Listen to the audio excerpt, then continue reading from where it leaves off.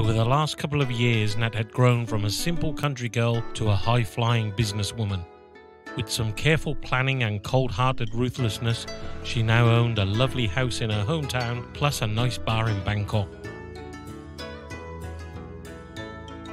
Jason, her business partner, was still in the background, but over the last year his business had kept him working and the personal relationship between them had taken a back seat. He was fine as he still earned some money from the bar. Nat had met a new man, Mike, and things were going really well. They had fallen for each other, and it looked like true love was in the air. Mike had been coming back and forth to Thailand over the last year and spent most of his time staying at Nat's condo. Things were getting serious, and Mike was now thinking about the future. So, baby, you know, I love you, right? I've been thinking about things, and how would you like to come back to the UK with me?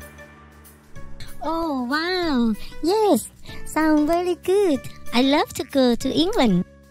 You know, I still have my house there, which is fairly nice. Okay, and what about me? What would I do there? Well, I still have my job, and maybe you can help at one of the Thai restaurants there.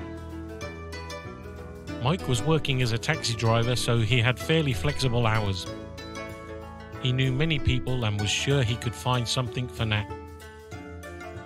Oh, wow. It sounds great. When you want to go? Well, it's now June, and there'll be a lot to sort, so maybe we can plan for early next year. Oh, wow. I'm so happy, baby. That sounds great. Mike was here in Thailand for another few months until September when he had to go back for his taxi contract. He was over the moon and imagining his life in the UK with a lovely Thai woman. The more he thought about it, the happier he was. He was in love with Nat and wanted to make it more permanent. That's it, he decided that he would ask her to marry him. A few days went by and he had made plans to propose to Nat. A romantic night at Asiatique and a proposal on the big wheel. Oh, baby, this is so lovely. You are so romantic. Thanks, babe. You know I love you. Maybe after dinner we can go on the big wheel. Oh, yes, I love that. They strolled along the waterfront and headed towards the big wheel.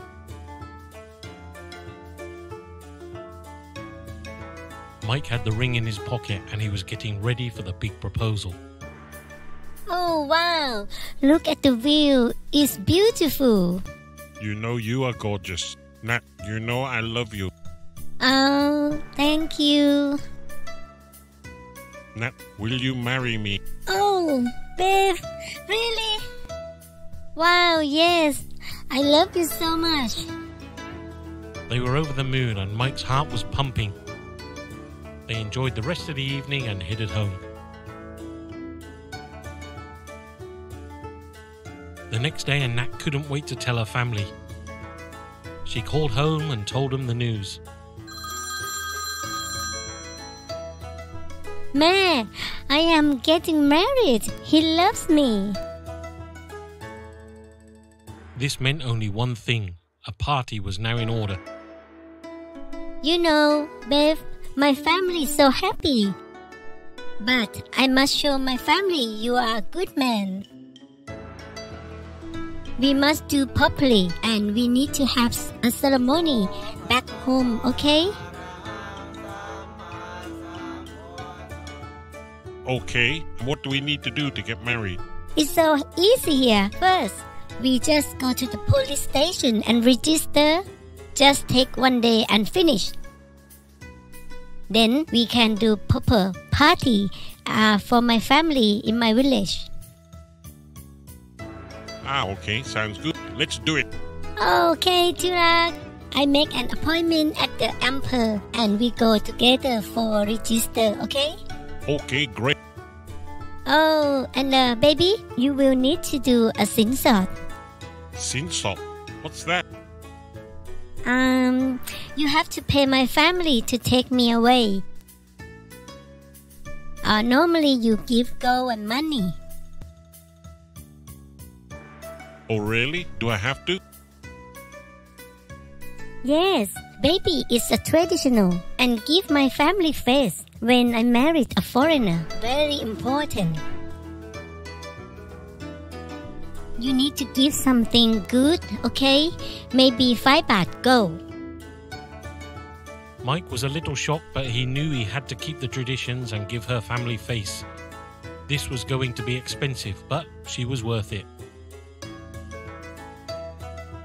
Over the next few weeks, Nat made plans with the family and friends, and things were well and truly underway. She took Mike to the gold shop to start looking for the sin sock. Oh, babe, so many nice things. Hmm, yeah. Here, baby, I think this is good. You okay? It looked expensive. He could feel the pain coming. Nat looked around and found some nice gold necklaces as well as some bracelets and rings. Here, baby, I think this is good. You okay? Okay, what's the total? Mike was shocked, but he'd been saving up ready for this day. And with that, they headed off to continue shopping. You know, babe, we need to buy the cow for the party and plan the menu. You okay with that? You mean a whole cow? Yes, maybe. Not expensive, but it's good. Mike was not too bothered about the wedding plans, he just left it to Nat. The wedding party was set for August the 17th, which was two weeks before Mike went back. Mike was about to become a happily married man. He has a few weeks left of being single. Time to celebrate.